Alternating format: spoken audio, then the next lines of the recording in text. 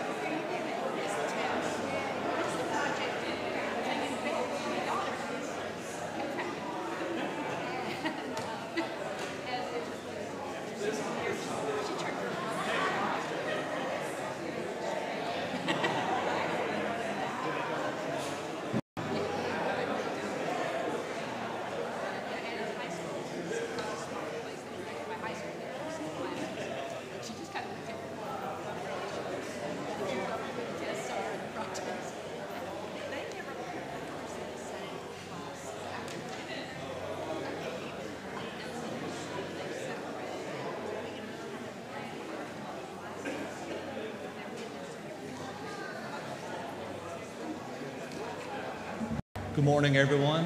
Welcome to South Highland Presbyterian Church. My name is Dallas. I'm the intern here. Excuse me. um, I said my name is Dallas Knight. I'm the intern here. I just want to uh, invite you all, uh, welcome you all to worship this morning. Uh, with heavy hearts, you know, we're sending off two of our beloved members of this church, Matthew and Abby Grauberger. Uh, but we are excited to be able to uh, send them off with worship this morning. So I invite you to spend these next few minutes to prepare your hearts to worship.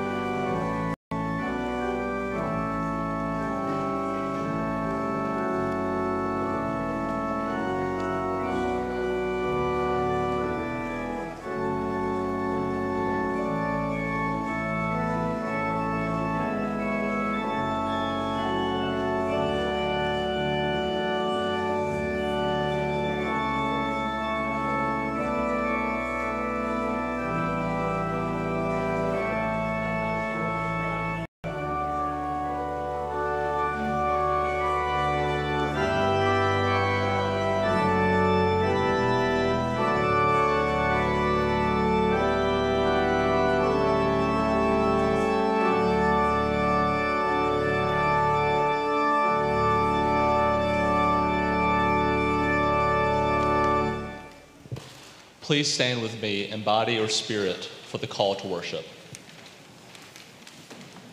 Oh, come, let us sing to the Lord. Let us make a joyful noise to the rock of our salvation. Let us come into his presence with thanksgiving. Let us make a joyful noise to him with songs of praise. For the Lord is a great God and a great King above all gods. In his hand are the depths of the earth, the heights of the mountains are his also. The sea is his, for he made it, and the dry land which his hands have formed. O come, let us worship and bow down. Let us kneel before the Lord our Maker. For he is our God, and we are the people of his pasture and the sheep of his hand. Oh, that today you would listen to his voice. Let us worship the Lord God Almighty, the creating Father, the redeeming Son, the empowering Holy Spirit.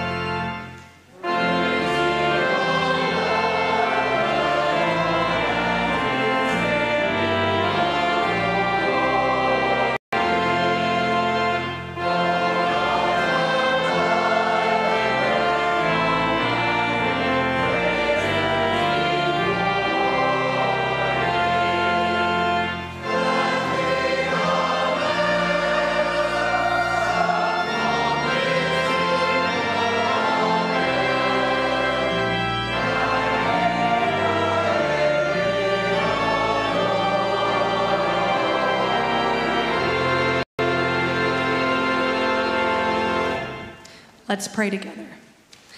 Almighty God, we praise you this morning because you are a God who blesses us with beautiful friendships, with wonderful summer days. And you're a God who doesn't change even as we experience so much change in our life. Lord, we worship you and we honor you as we draw near to you this morning in worship. We thank you for your kindness, and it's in the name of the Father, Son, and Spirit that we pray this morning. Amen. The scripture tells us that all have sinned and fallen short of the glory of God. But if we confess our sins, he who is faith, he is faithful and just, and he will cleanse us from all unrighteousness. Trusting in his mercy and in his kindness, let us now confess our sins together before God. Eternal God, in whom we live and move and have our being, whose face is hidden from us by our sins and whose mercy we forget in the blindness of our hearts. Cleanse us from all our offenses, and deliver us from proud thoughts and vain desires, that with reverent and humble hearts we may draw near to you, confessing our faults, confiding in your grace, and finding in you our refuge and strength, through Jesus Christ, your Son.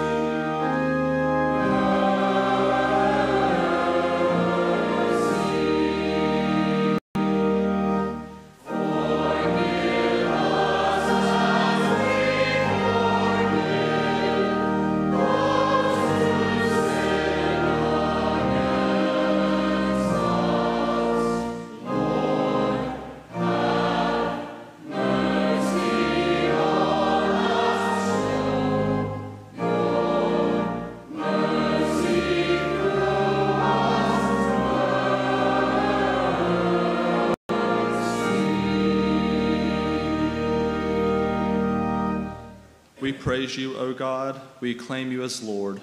All creation worships you, Father everlasting. To you, all angels, all the powers of heaven, the cherubim and seraphim sing in endless praise. Holy, holy, holy Lord, God of power and might. Heaven and earth are full of your glory. The glorious company of apostles praise you. The noble fellowship of prophets praise you. The white robed army of martyrs praise you. Throughout the world, the Holy Church acclaims you, Father of majesty unbounded, your true and only Son, worthy of all praise, the Holy Spirit, advocate and guide. You, Christ, are the King of glory, the eternal Son of the Father. When you took our flesh to set us free, you humbly chose the Virgin's womb. You overcame the sting of death and opened the kingdom of heaven to all believers. You are seated at God's right hand in glory. We believe that you will come and be our judge. Come then, Lord, and help your people, bought with the price of your own blood, and bring us with your saints to glory everlasting. Friends, believe the good news of the gospel. In Jesus Christ we are forgiven. O Lord, open our lips, and our mouths shall show forth your praise.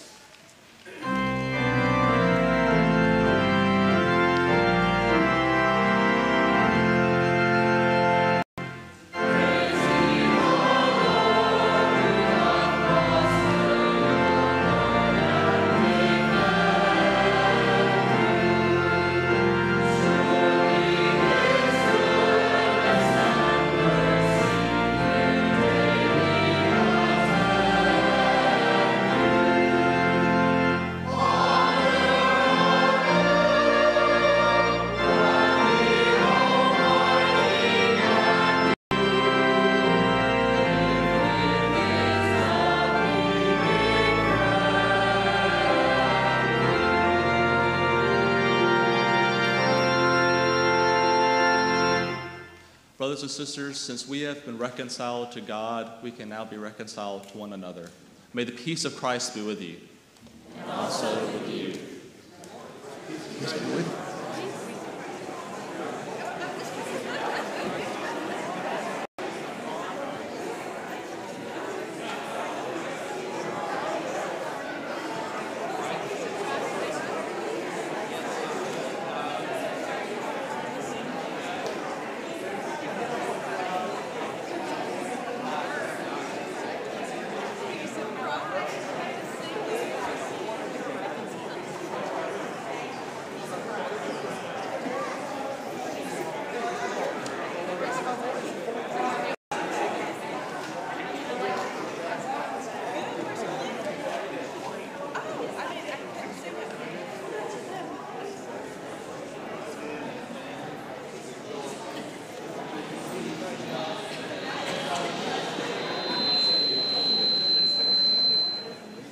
Sisters and brothers, a hearty welcome indeed to all who gathered this Lord's Day to worship and praise our God who is with us always. We thank you for being here today, you who gather in worship in our sanctuary, and you who join us by means of electronic communication from wherever you are in the world. We're glad that we can be together in spirit and in body as the body of Christ. Welcome to you. This is, of course, a bittersweet day for South Highland as we are saying farewell to two very special people, Matthew and Abby Grauberger, who have been such a bright light, uh, such an inspiration to us in their music leadership and in their participation overall in the life of the congregation. So congratulations to you on your upcoming op- opportunity in Boston, and, uh, and we're going to miss you. Thank you so much. We'll have a chance later today to express our uh, appreciation a little more thoroughly. There will be a reception honoring them in the Davis Family Hall, so please plan to join us and uh, share in that special time together. I invite you all please to sign the friendship pads. Let us know that you're worshiping with us, and if there are particular prayer needs, please note those on the pad as well. I'm looking for uh, Daniel and Jessica Killale and their baby Nora, who they, stayed at our house last night, so they're on their way, I think. So when you see them later, give them a warm greeting as uh, you meet for the first time their precious little girl. Uh, we uh, express our condolences to the Cook family, Scott and family, upon the death of your father, Richard, and uh, do know of our prayers and our thoughts for you all. And we celebrate with the Heisers today uh, the birth of their grandson, Kermit and um, Megan. Thank you. Kermit and Megan's uh, son, Levi. Thank you. The Rose announces that. Uh, also, remember our Social Justice Book Club will meet this evening at 6:30. Invite you to come into the Davis Family Hall. We're meeting in person. Uh, you're welcome to come, even if you've not yet finished the book or read the book. I think you'd find it helpful and encouraging. The softball team will be gathering on Tuesday evening at 8:30, Spain Park, for their game. So join that if you can. And we're about to begin many, many fall activities. Among those is an opportunity to help some children most of them are second graders uh, who need some encouragement in their reading skills. If you'd like to consider being a STAIR tutor, you see the information there in the bulletin, and please be in touch with Lou Mahon and others as they are organizing for the fall tutoring. Many other opportunities to grow and serve together in the life of Christ here at South Highland. invite our children now to come forward for a time with Katya O'Leary. Come on down, kids.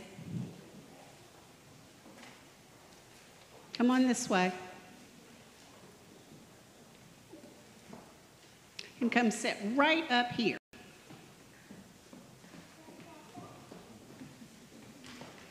Perfect. Come on, a little closer towards me. Come right here. Oh, good, Lyndon. I'm glad you're coming too, buddy. Okay, boys and girls, today we are going to talk about prayer. And prayer is when you do what? Yes. You can, you can do it, your hands together. And, and who are you talking to when you pray? You're talking to God. That's exactly right. Well, there is a special thing to help you to remember how to talk to God. Hold up your hand. Yep, hold up your hand. This first finger that's closest to you is the, fam- is the finger that is for your family for your mom and your dad and your grandparents and your cousins, all the people who are close to you. So when you think about that finger, you pray for those people. Your next finger is your pointer finger. Your pointer finger is for your teachers and doctors and other people who take care of you and help you. The second finger. The third finger is for the leaders of the country for the president, President Biden, for the mayor, uh, Mayor Woodfin, yes. Or the king, um, yeah. And the king, too. Um, but you know, we don't have a king here in the United States, so we pray, pray for the president and also the governor. Or the mayor, and the mayor, yes, definitely. All right, this finger here, the next finger, it's a weak finger. It doesn't can you, can you make your, your finger stand up by yourself? It's kind of hard to do it. It doesn't stand up very straight, does it? Oh, that's pretty good. It's this one, though. That one. That one. it's hard to do it. Okay, so you've got that fourth finger, and that's the one, because it's the weak finger, it's weak. It, uh, I think so. And so this weak finger is for the people who are sick. And you pray for the people who are sick with that finger. All right, this last little finger, this little bitty pinky, guess who that is? You pray for yourself. You pray for yourself. You pray for yourself last. That's perfect. This is the one, pinky now. Lift your pinky. That, that's perfect. Pinkies. Everybody hold up your pinky. Mm-hmm. Good job. Good job.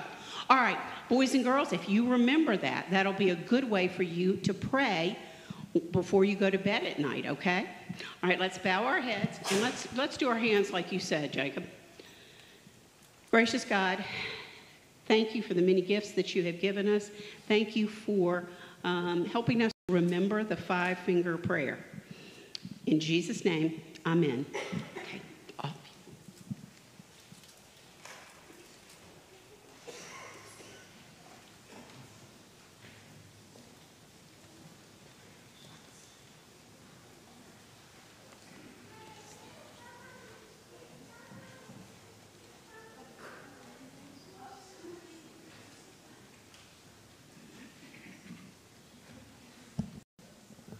Please pray with me.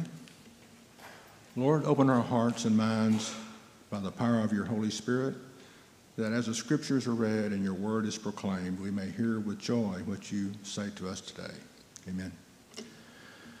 The uh, Old Testament lesson is 2 Kings chapter 3 verses 4 through 20. now King Mesha of Moab was a sheep breeder who used to deliver to the king of Israel 100,000 lambs and the wool of 100,000 rams. But when Ahab died, excuse me, the king of Moab rebelled against the king of Israel. So King Jehoram marched out of Samaria at that time and mustered all Israel. As he, as he went, he sent word to King Jehoshaphat of Judah The king of Moab has rebelled against me. Will you go with me to battle against Moab? he answered, I will. I am with you my people are your people, my horses are your horses. Then he asked, By which way shall we march? Jehoram answered, By the way of the wilderness of Edom. So the king of Israel, the king of Judah, and the king of Edom set out. And when they had made a roundabout march of seven days, there was no water for the army, for the animals that were with them. then the king of Israel said, Alas, the Lord has summoned us three kings, only to be handed over to Moab. But Jehoshaphat said, There is no prophet of the Lord here through whom we may inquire of the Lord. Then one of the servants of the king of Israel answered, Elisha, son of Shaphat, who used to pour water on the hands of Elijah, is here. Jehoshaphat said, The word of the Lord is with him. So the king of Israel and Jehoshaphat and the king of Edom went down to him. Elisha said to the king of Israel, What have I to do with you? Go to your father's prophets or your mother's. But the king of Israel said to him, No, it is the Lord who has summoned us, three kings, only to be handed over to Moab.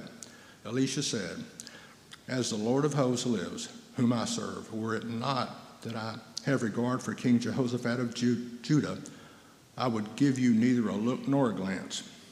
But get me a musician and then, while the musician was playing, the power of the Lord came on him. And he said, Thus says the Lord, I will make this wadi full of pools. For thus says the Lord, You shall see neither wind nor rain, but the wadi shall be filled with water, so that you shall drink, you, your cattle, and your animals. This is only a trifle in the sight of the Lord, for he will also hand Moab over to you. You shall conquer every fortified city, every choice city, Every good tree you shall fell, all springs of water you shall stop up, and every good piece of land you shall ruin with stones. The next day, about the time of the morning offering, suddenly water began to flow from the direction of Edom until the country was filled with water. This is the word of the Lord. Thanks be to God. And the Psalter lesson today is Psalm 150, and please read responsibly with me. Praise the Lord. Praise God in his sanctuary. Praise him in his mighty firmament. Praise him for his mighty deeds. Praise him according to his surpassing greatness. Praise him with trumpet sound. Praise him with lute and harp. Praise him with tambourines and dance. Praise him with strings and pipe. Praise him with clanging cymbals. Praise him with loud clashing cymbals. Let everything that breathes praise the Lord. Praise the Lord. This is the word of the Lord. Thanks be to God.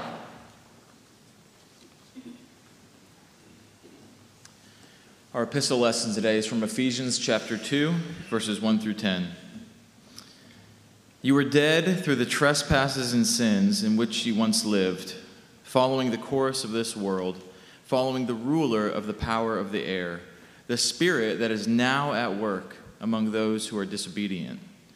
All of us once lived among them in the passions of our flesh, following the desires of flesh and senses, and we were by nature children of wrath like everyone else. But God, who is rich in mercy, out of the great love with which He loved us, even when we were dead through our trespasses, made us alive together with Christ. By grace you have been saved. And he raised us up with him and seated us with him in the heavenly places in Christ Jesus, so that in the ages to come he might show the immeasurable riches of his grace and kindness toward us in Christ Jesus. For by grace you have been saved through faith. And this is not your own doing, it is the gift of God, not the result of works, so that no one may boast. For we are what he has made us, created in Christ Jesus for good works, which God prepared beforehand to be our way of life. This is the word of the Lord. Thanks be to God.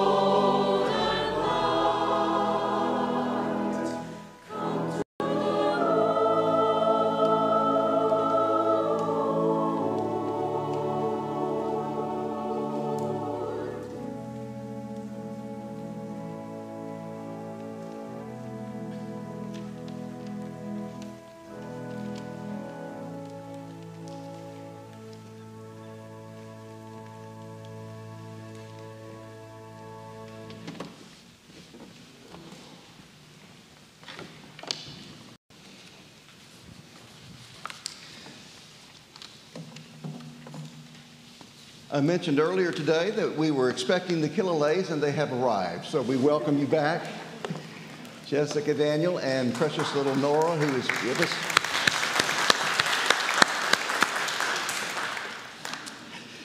Would you pray with me? Lord God, let now your word find a place in our hearts and in our minds to take root, to grow, that we might live as your people as we praise the Lord as we serve you in our lives, in all that we think and say and do. And may the words of my mouth and the meditation of our hearts be acceptable in your sight, O Lord, for you are our rock and our Redeemer. Amen.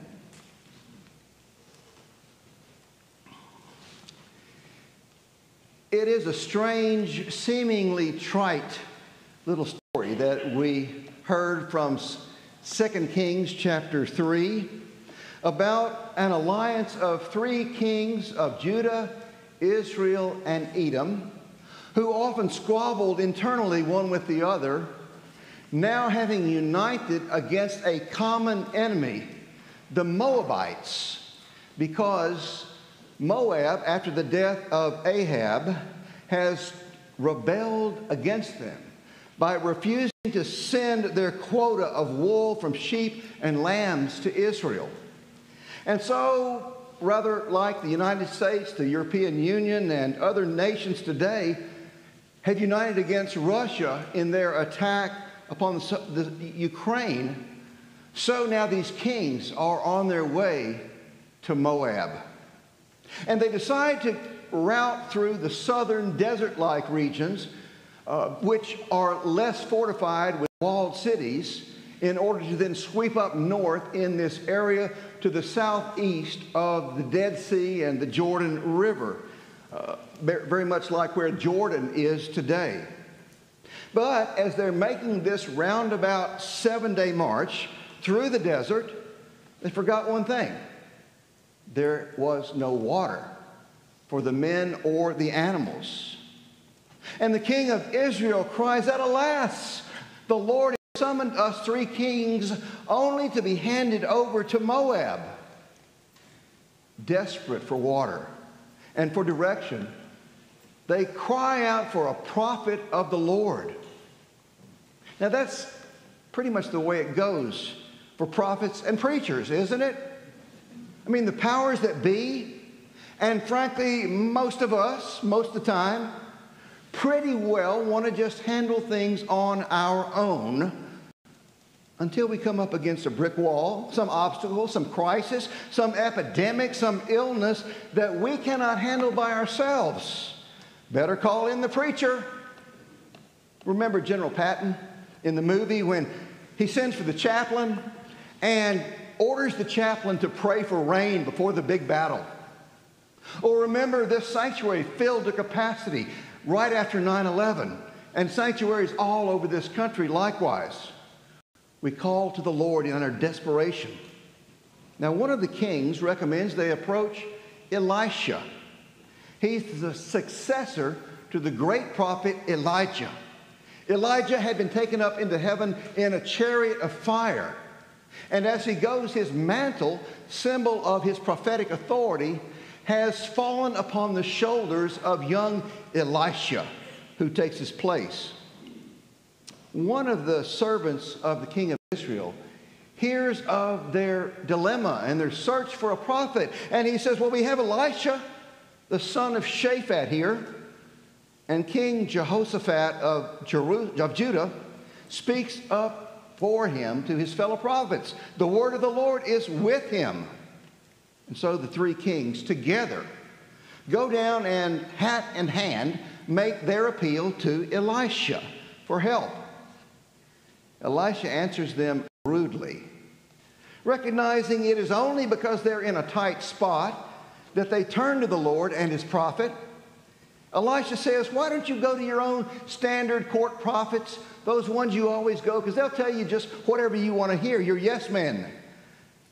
However, Elisha adds this If not for the fact that I do have a high regard for one of you, King Jehoshaphat of Judah, I wouldn't even consider helping you. But now, he says, Get me a musician. For reasons obvious to most of us today, as we say farewell to our beloved musicians, Matthew and Abby Grauberger, this verse and the next are the very heart of our message today. Get me a musician, the prophet Elisha commanded. And then, while the musician was playing, the power of the Lord came on Elisha, and he said, Thus says the Lord, I will make this wadi full of pools. And then it happens.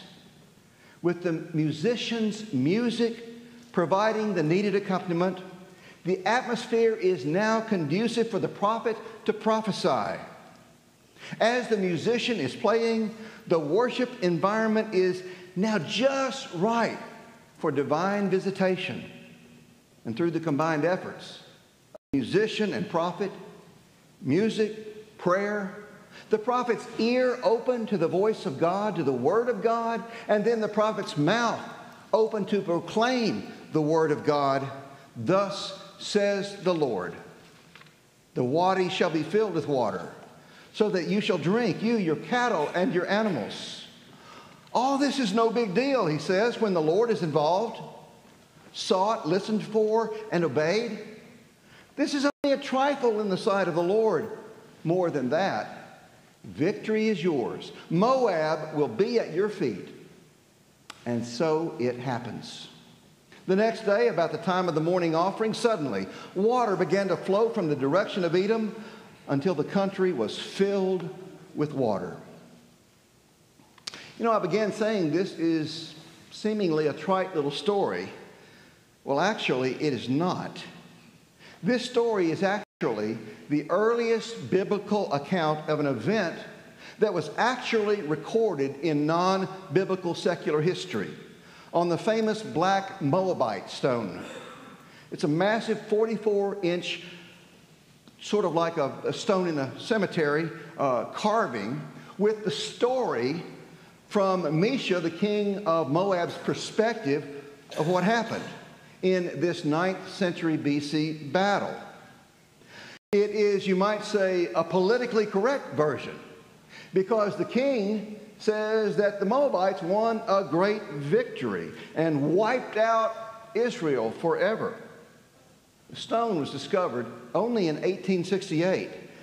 And except for this politically correct interpretation of what happened in the battle, this account is virtually the same story as is set forth in Holy Scripture of an actual historical battle between Moab and Israel and its partners. And more than that, it is the earliest verified for sure certain extra biblical account naming the God of Israel, Yahweh.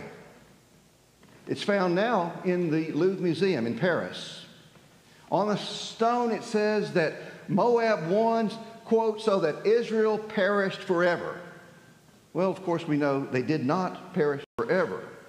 And most archaeologists today around the world say the biblical version is more true to what actually happened. Well, you may say that's very nice. But our point today is not to get down into the weeds about the Moabites, but simply to note the power of God that is released in the real world of politics and power through worship, where music converges with prophetic pronouncement so that people hear and God's will is made manifest and done. Now, at its best, that's what happens Sunday by Sunday here at South Highland Presbyterian Church. On vacation a few weeks ago, and thank you for the opportunity you gave us to have a little time for rest. Good to be back. I attended on that vacation a little worship service that was put together, service devoid of music. Yes, God was worshiped. Prayers, including the Lord's Prayer, were offered. Uh, the gospel was proclaimed through the Apostles' Creed. But that 15 minute service with no music, no proclamation, was just absolutely flat in worship. Music is such a powerful, integral component of the whole worship experience. through God exalted and God praising music, wisely selected, fittingly presented after tireless preparation, often after heavy duty workout rehearsals, we are lifted to experience God's awesome presence. God's power set loose through music enables us to transcend our immediate situations, our problems, our challenges, our struggles, and be lifted up into the divine presence. Music becomes a bridge, a thin place linking heaven and earth, time and eternity. Paul instructs us about music in his letter to the Ephesians, writing, Sing psalms and hymns and spiritual songs among yourselves, singing and making melody to the Lord with all your hearts, giving thanks to God the Father at all times and for everything in the name of our Lord Jesus Christ. And that's why South Highland, since its inception in 1888, has offered the finest music we can and invested significant resources in finding the best musicians we can.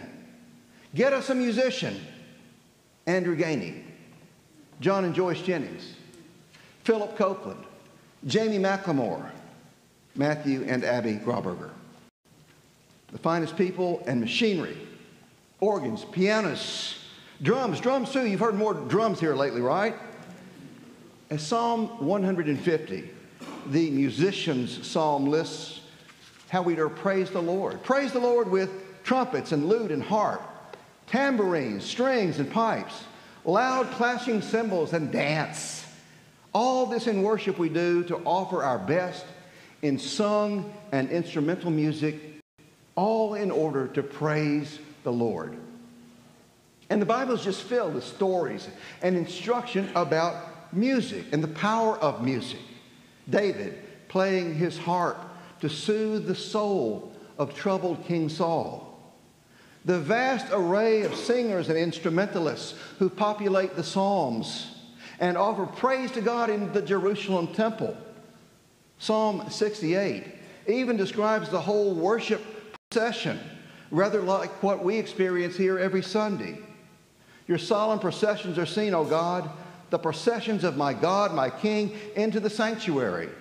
The singers in front, the musicians last, between them, girls playing tambourines. We might want to get a few more of those going. All so we can bless God in the great sanctuary. You know, if you think about worship pragmatically, just looking at it from the outside, you might conclude that this hour of worship is one of the most non productive, wasted hours in your week. I mean, we don't make anything here. No shoes. Don't grow any vegetables here. Don't stitch any clothing in this hour. And yet, because we worship in this hour, because we set aside our productive money making attempts of making material stuff and take time for spiritual stuff, time to remember the Sabbath day and keep it holy time to restore our souls, time to sing and praise the Lord, time to listen for God's word. Because we do this, we then go out from here with deeper resolve to do God's word. And so, yes, shoes are made and offered to those who need them. Sacks of food and clothing are given to those who need them. Because you see, in worship, we're being changed. We're being made into new people. We're being put together again. We who were, as Paul says, by nature children of wrath, who were dead through our trespasses and sins, are now exposed through music and scripture and sermon and sacraments and prayer to another and wider world. The wide world of God's mercy. There's a wideness in God's mercy like the wideness of the sea. And God, who is rich in mercy, and out of the great love with which He loved us, even when we were dead through our sins, we are made alive again. For we are what He made us, created in Christ Jesus for good works, which God prepared beforehand to be our way of life. Do you know that God wants you to be whole, connected, integrated, balanced today? God wants you to take your dark places and fill them with this light today. Oh, sure, you can worship God anywhere, anytime, right? But there is a special power at work when God's people gather together to worship here. A wonderful, mysterious transformation takes place as God meets us, God encounters us. God comes alive in us in new and sometimes astounding ways. William Sloane Coffin was a renowned and prophetic pastor. Having served in the Army during the Korean War and then as a CIA agent, a New Yorker born to privilege, well connected, well established, a concert pianist, a brilliant student, but God got hold of him and said, I want you for my ministry. He became known at Yale University, where he was chaplain in the 60s and 70s, for his powerful sermons and activist protests, where he spoke out and acted out clearly for civil rights and against the war in Vietnam. And then in the 70s and 80s, as the pastor of the great Riverside Church in New York City, he was one of four U.S.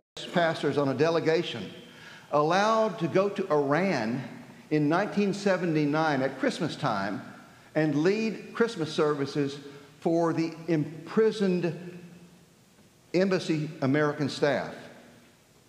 In his autobiography, he describes this struggle in faith and how, yet through worship, his faith overpowered his doubts and his anger with God. He was sitting in a memorial service for a friend who had been killed in a tragic automobile accident, fuming at God for the injustice of life, arguing with God, and then he heard in that service the organist play one of the great Bach choral preludes, Christus lag in Todesbanden, Christ stands in the bonds of death. And Coffin remembers this. It was genuinely comforting. And it made me think that religious truths like those of music were probably apprehended on a deeper level than they were ever comprehended. The leap of faith was not a leap of thought at all. The leap of faith was really a leap of action. Faith was not believing without proof, it was trusting without reservation. What we see in the story of Elisha and the musician and the three kings is that through worship, music, prophecy, proclamation, thus says the Lord, God works spiritually in ways that play out materially, tangibly, through people to actually change the world that we live in. The musician played. The prophet prophesied. God brought water that sustained man and beast. In the desert wadi, the dry riverbed was filled with life giving water. And that's how life is through Christ's death and resurrection. Through his freely offered gift, our brokenness is transcended. Our thirst is quenched with not just water for today, but with living water for all eternity. Our sin is forgiven. By grace we are saved through faith that is not our own doing, but is the gift of God. And then made whole again which is the goal, if you think about it, of every worship service here, whatever its particular focus on any given day. Then we become more fully what He has made us to be, created in Christ Jesus for good works, which God prepared beforehand to be our way of life. On vacation, I got to read some stuff just for fun, and one of them that I happened on was a novel, a Dan Brown style novel called Pope's Man. And it's about the relationship of Michelangelo and Pope Julius. Michelangelo, the 24 year old artist, already renowned throughout the world for his magnificent David carved in Florence and the, the baptistry doors on the cathedral there. And Pope Julius, who took his name not from some Christian saint, but from a particular Roman Caesar. Pope Julius commanded Michelangelo to paint the Sistine Chapel ceiling. There was no if, ands, or but about it. And Michelangelo would be up in his, uh, high up on his girders near the ceiling, and the Pope would come below and bug him, check on him day after day. And they said that it wasn't too infrequently that accidentally Michelangelo would drop blobs of paint on the Pope. 40 years or so later, Michelangelo returned again to the Sistine Chapel, this time to paint the renowned Last Judgment scene. You, are familiar with it. It fills the wall, the front wall of the chapel behind the altar. And it's a terrifying scene, really. It's this massive, muscular Christ coming across uh, the, the, clouds, uh, sweeping up into heaven those who were his believers, and casting down into the depths of hell those who were not believers. Once there was a person who happened to see that scene on a day and when the light was coming in in just a particular way into this chapel, that a shadow was cast from the massive cross on the altar across the lower part, the demonic part of that painting, uh, fresco. And it was as if this person see, saw that the cross has gone even to the depths of hell. God, who is rich in mercy, out of the great love with which He loved us, even when we were dead in our sins, made us alive together with Christ by grace you have been saved.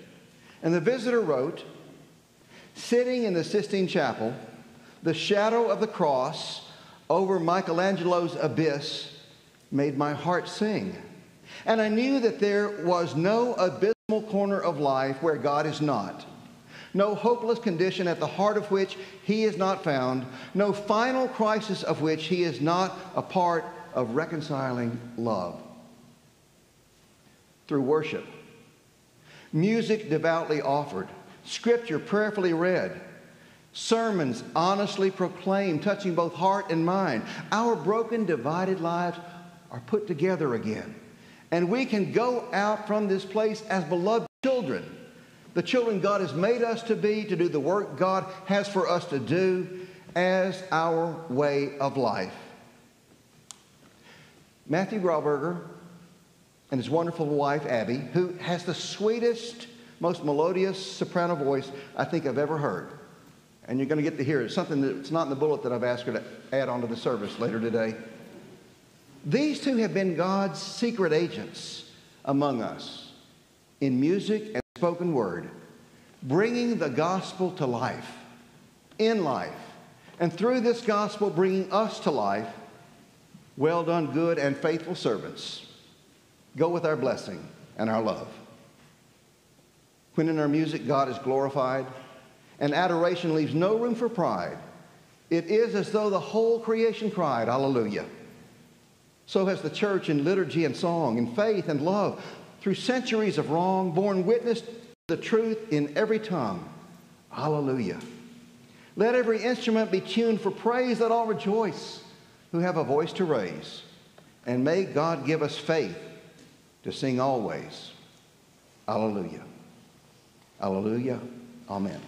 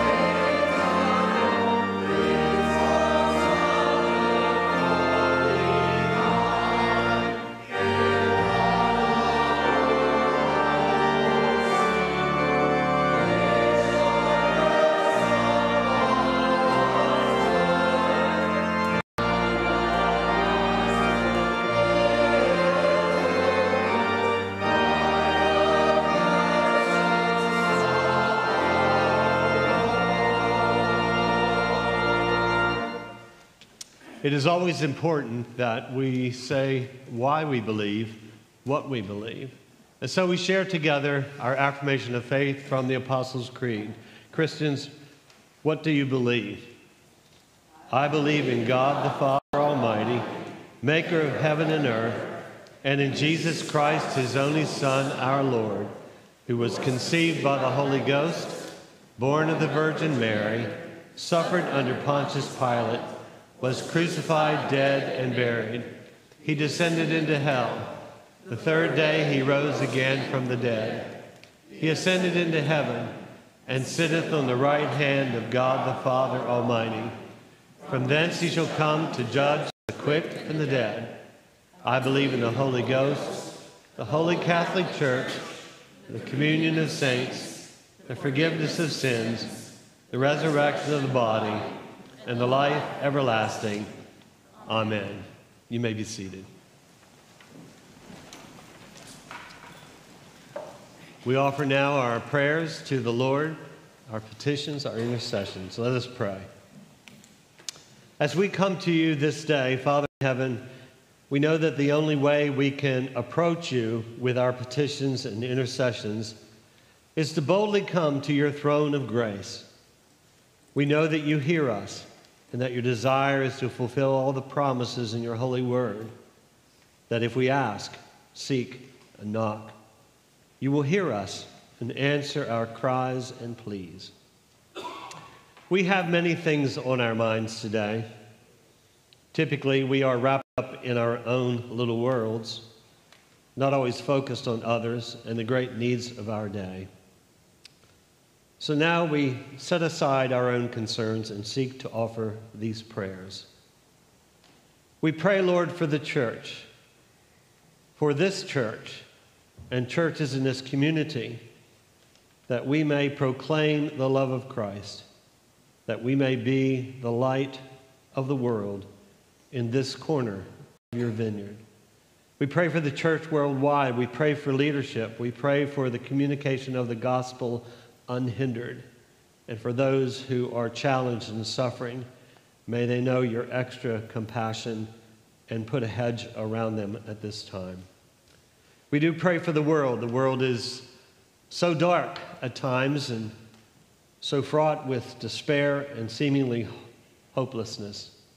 And yet, Lord, you created this world. You are the God of the ages, and you are working your purpose out, and we pray that your will be done in a bold and magnificent way.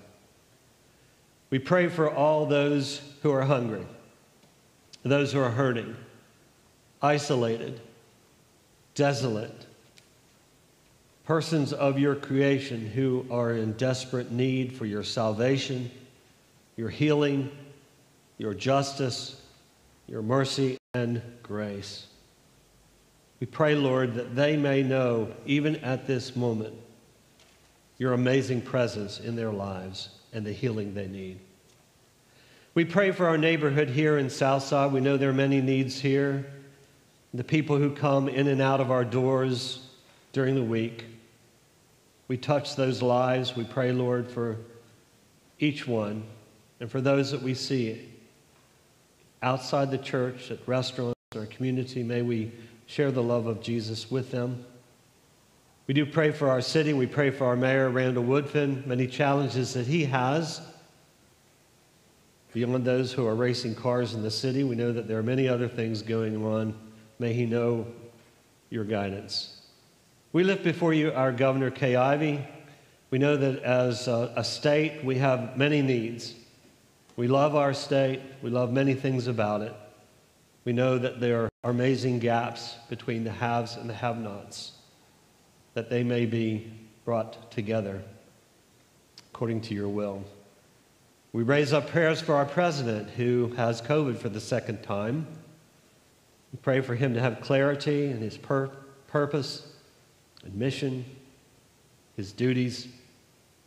Protect him during these days.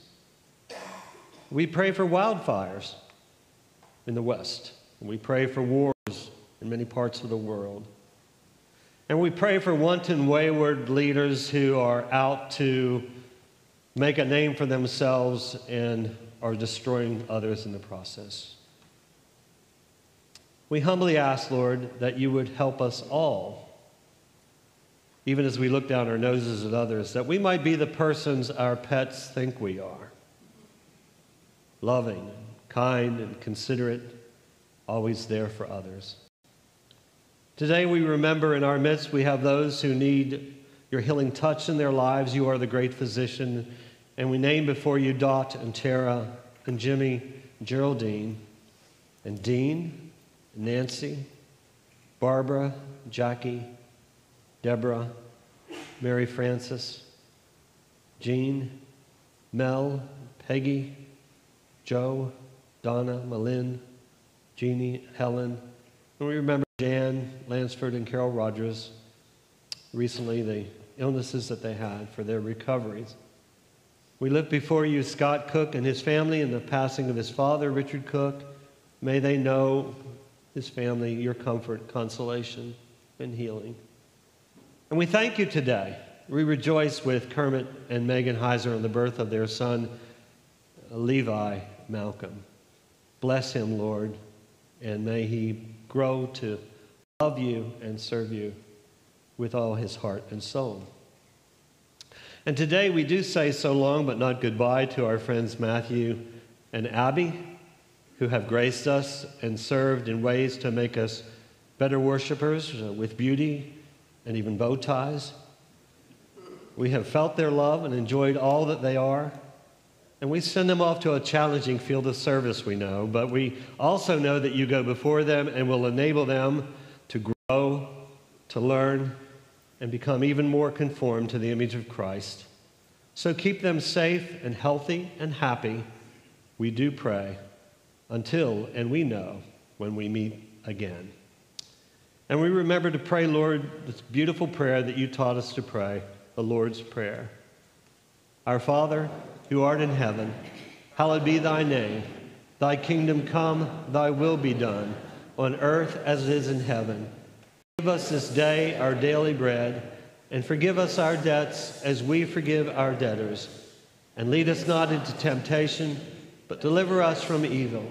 For thine is the kingdom, and the power, and the glory forever. Amen.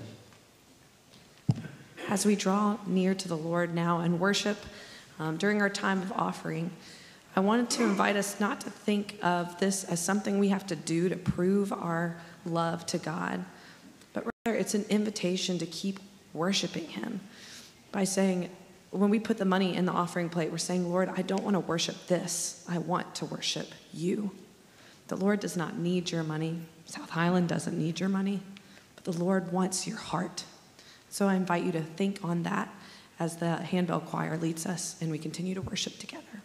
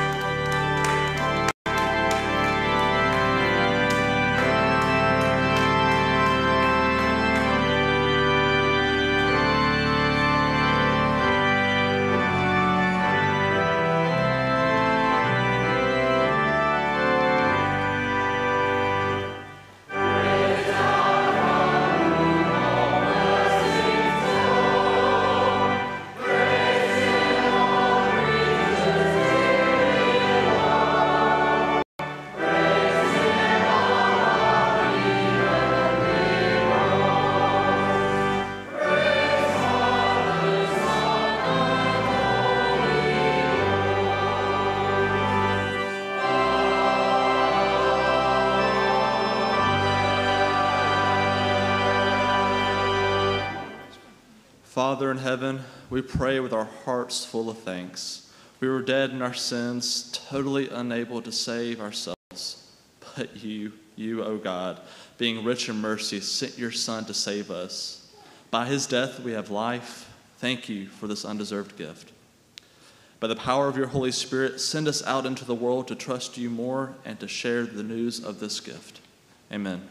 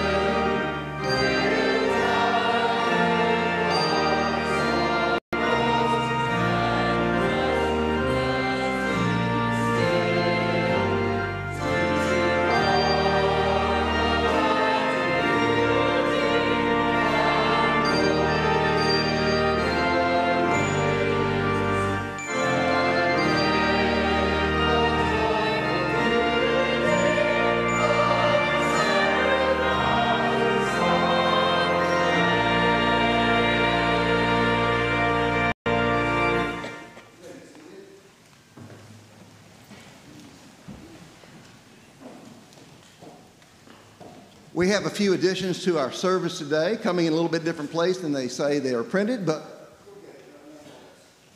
we want to take a few moments to express our appreciation to Matthew and Abby Grauberger for their amazing service to us. And first of all, I want to invite the Graubergers. Where are you? Y'all come on over here. And invite the clerk of session, Lee Cleveland, to read a proclamation from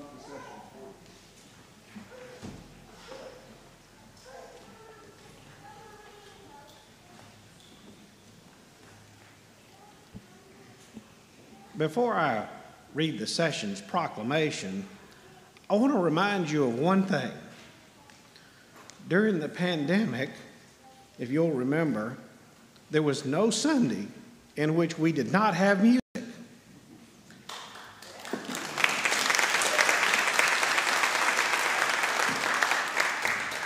Greetings and salutations to Matthew Grauberger. These past almost four years, you have blessed us by serving as Director of Music Ministry and inspired us with the music you have presented. You have made a joyful noise for God. You are leaving us to pursue a Master of Divinity and subsequently a PhD in worship and theology. In appreciation of your almost four years of service to South Highland Presbyterian Church, we, the session of South Highland Presbyterian Church, express our sincere thanks and gratitude and wish you every blessing in your continued studies as you pursue God's calling for you. Done and approved by the session of South Highland Presbyterian Church on this, the 20th day of June, in the year of our Lord 2022. Thank you.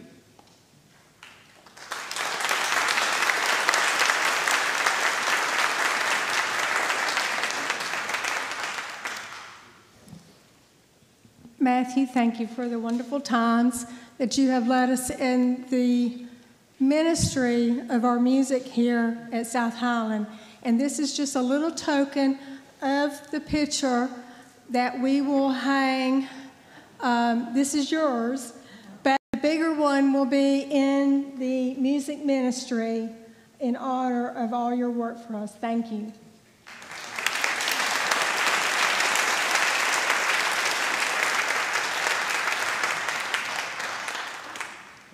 Matthew and Abby, uh, well, very sad to see you go, but well, especially I want to thank Matthew here in the last few months. Uh, sometimes when people change jobs, they get very selfish, start focusing on their future, but Matthew was very generous and gracious in helping lead the search that led us to bring Kenny Lewis in.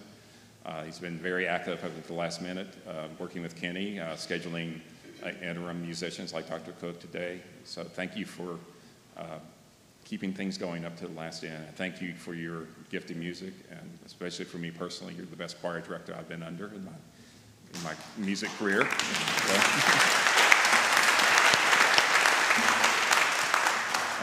thank the, uh, the search committee. I won't thank all here, but also want to thank the entire congregation for your generosity in this gift I'm about to present uh, to Matthew and Abby on your behalf. Thank you very much.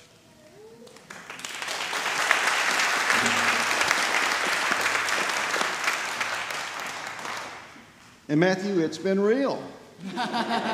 Thank you so much for you gave me a letter this morning. I'll give you a letter now. Thank you. And uh, we're just so grateful for the time you all have shared with us. Um, is there any? Would you like to say anything? Or?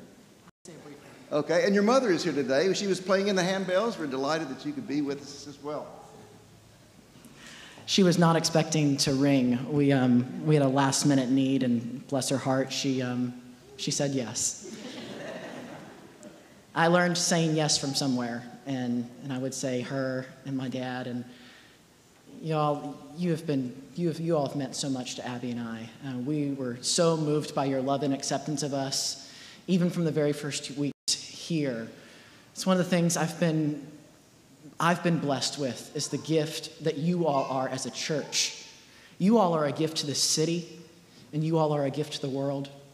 And so I commission you in the name of the, of the Father and the Son and the Holy Spirit, to continue to worship and serve with the passion of Christ, to do so with boldness, to do so with love and grace and humility, and continue to be the hands and feet of Christ on this corner here on Highland Avenue.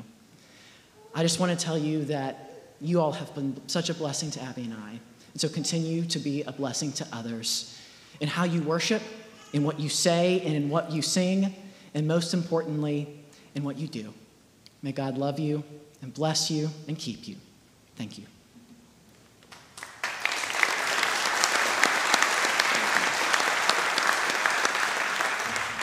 May we pray together. Lord God sends your very powerful, special blessing upon Matthew and Abby as they go forth to a new part of the country to new studies, to new friends, to new opportunities to worship together and to spread your love and grace. Be with them, use them mightily there as you have here. And indeed, may we look forward to the time that we do meet again through Jesus Christ our Lord. Amen.